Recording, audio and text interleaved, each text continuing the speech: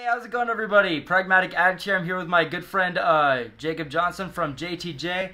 So uh, we're actually not at home right now. Uh, a couple days ago, we had to go on uh, take a little bit of a personal. So uh, this is just going to be the setup for this video. But uh, while we are away, yes, we did watch, of course, the Beavis and Butthead episode three on Paramount Plus continuing on with Mike Judge's New Revival series. So, last week when they dropped episode 1 and 2, uh, to my knowledge, we kind of liked pretty much every episode. Uh, kind of more or less besides the special one, which is the one where uh, Beavis was talking with the dumpster fire. Which, really quickly, I want to kind of bring up something. So, someone actually commented in my last video that, uh, so, as far as, like, that episode, like, I was like, like, we were kind of confused, like, why is this fire just having him do like good things? We just thought it was kind of dumb and lame. And then somebody kind of pointed out in my video, they're like, well, what I got out of out of it was that because uh, the series was canceled uh, initially in the very beginning, partially because uh, people were complaining that the you know Beavis's obsession with fire was actually influencing kids to play with fire. And so someone was commenting on my video, pointing out that maybe the reason why this fire was doing was telling Beavis to do good deeds. It was kind of like like a laugh at you know people that helped get the uh, series canceled. You know that were expecting this fire to have him do all these bad things, but it's actually a good influence. so just kind of like poking, poking fun at that. So that's what somebody pointed out to me, which I was like, oh my god, that's that's that's genius. If, is- if, if that's the case, that's fucking great. I like it. But going forward with this uh, revival series, we are now talking about episode three, which has two two uh, segments titled "Roof" and "River." So let's just get right into it. So the first uh, segment of this episode, titled "Roof," shows Mr. Anderson's uh, return, and he's actually talking to Beavis and Butthead about how he's going on a trip, but he has two important packages coming. One uh, being extremely important, which is his hearing aids, and then a second package, which is a uh, gift for somebody. So going forward, uh, as like literally like seconds after Mr. Anderson leaves, these packages show up, and the gift for the person which uh, was actually a giant glass bowl, which immediately Beavis is like. Let's break it. Let's throw it in the street. So he gets ready to crush this bowl, like just be- classic Beavis antics. He's getting ready to crush this bowl in the middle of the street, and then what I really liked about this is that it, it, it does this kind of like uh, shift where it shows Butthead being like inspirational, doing this like dramatic monologue. He's like, "Well, hold on, Beavis. Yes, we need to break this thing, and yes, it would be incredibly cool if we crushed it, but we're better than that. Let's take it on the roof." so they end up having this plan to go on the roof and drop the bull from there. But this episode actually takes a surprising turn, which we find out that Beavis actually has a fear of heights. So they end up finding this ladder in his yard, in Anderson's yard, and of course they use it to go up the roof. Now Beavis, being extremely scared to climb this roof, he doesn't realize that he leaves the ball on the ground and then climbs up. And then from there, things escalate in your classic Beavis and Butthead style and fashion. They get into an argument at the roof, which causes the ladder to get knocked over. And now they are both stuck on this roof. And it goes from there in exactly how you would expect. They're going through these, you know, just absurd batshit plans to try and get off the roof and just failing insanely. But one thing I will say about this episode, to me at least, is that it was the first episode, as far as this series goes, that was the least, at least genuinely, like, consistently hilarious. Everything about its writing and its pacing, you know, it, it fits, you know, not only, you know, in the episode, but also, like, compared to, like, the throwbacks of Beavis and Butthead, it feels a lot like that. It just, to me, it didn't contain as much as you would expect out of this, you know, revival series, especially from like, you know, what we were seeing in the first few episodes, especially with this kind of like, you know, a setup with these two guys getting stuck on this roof. It's like they went into their roots for this one. Like it felt like an old Beavis and Butthead episode. Like It did. something you would watch in the '90s. Not something from the revival, but something from back in the '90s. Yeah, and that's kind of like what I was thinking. Like, it feels like a throwback episode. Like, everything that you would expect, you know, like. Like it does feel like a throwback episode in the sense of like these two characters getting themselves into something so batshit and ridiculous over something so stupid to begin with. and just going just to to absurd routes with doing that. But in saying that, like, yes, there was comedic moments to it. There was a lot of, of uh, writing that I was just like, that that's perfect.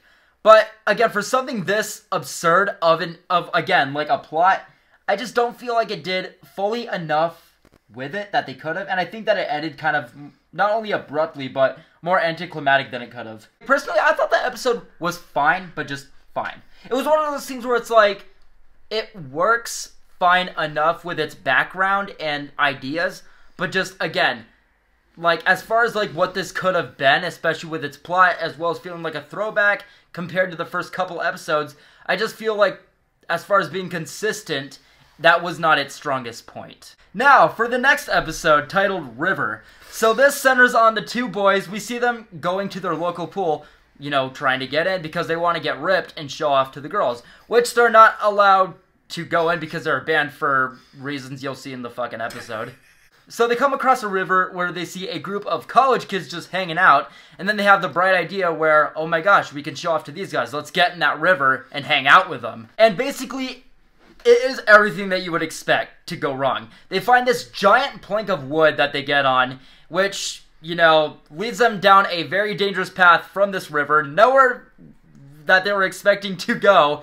You know, leads them down waterfalls. They come across some guy fishing where Beavis mistakes the bait as a gummy worm and gets attached to the fucking fish hook. And what I'm gonna say about this episode specifically is that it didn't do anything genuinely surprising, but they do go a bit further into it as far as adding elements of, you know, anxiety and danger and even themes of like hopelessness getting toward the end of the episode where it all escalates and where they actually end up. It's just one thing after another in those themes, you know, again from anxiety to danger to hopelessness and one thing that I really want to add that I, I that I really want to note, which is very specific, is that this episode. I don't know if you got this like kind of like uh feeling, but it almost felt cinematic. Like this whole episode, I'm like, this is like a plot point that you could see in a like theatrical movie from these guys. This is something that could take place in a movie because it was so absurd. It was so well done. The writing and the pacing and the whole idea behind it and how far they actually go with keeping it exactly where it should be.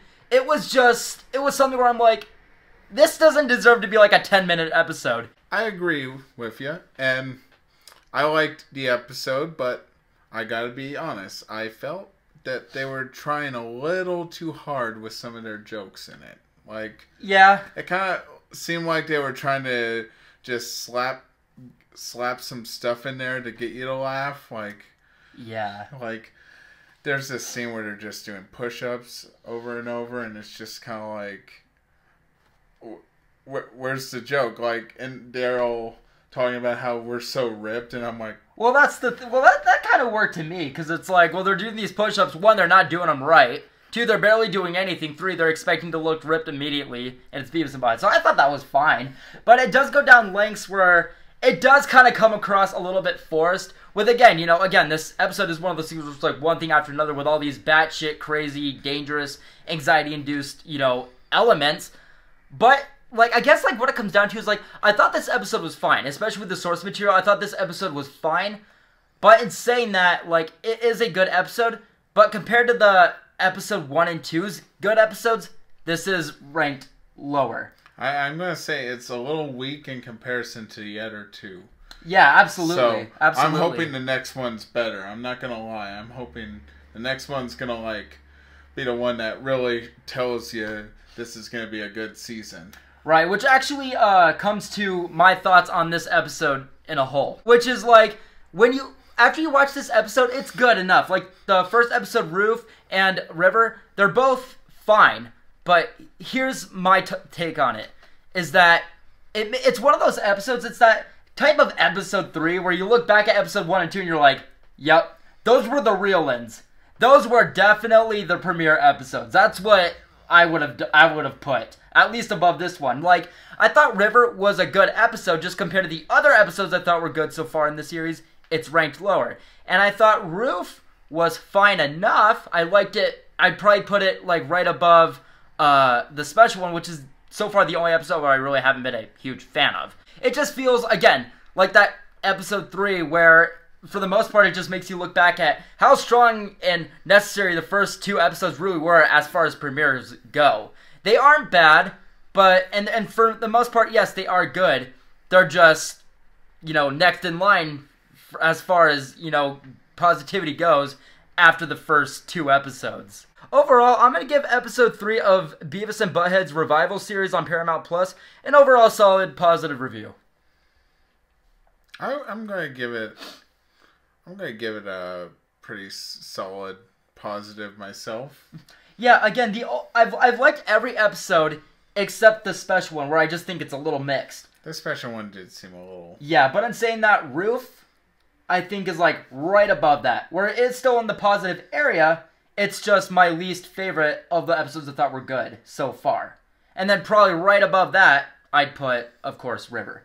So I think they're good episodes, just so far not nearly as strong as what we've gotten so far from episode 1 and 2, but they're not bad. So guys, that is going to do it for our uh, reviews of episode 3's segments of the Beavis and Butthead Revival series on Paramount Plus. Our next review will be Bodies, Bodies, Bodies, which we will be seeing very soon. We were actually going to see it today, but again, we're taking a little bit of a personal, but we will get around to it uh, within the next couple days. So I hope you guys are looking forward to that. I hope that you guys liked this video. Let us know what you guys thought of episode 3 of uh, the Beavis and Butthead Paramount series. Take care, guys. Thank you guys so much for watching. I hope that you enjoyed the video, and we'll see you in episode 4, of course, next week.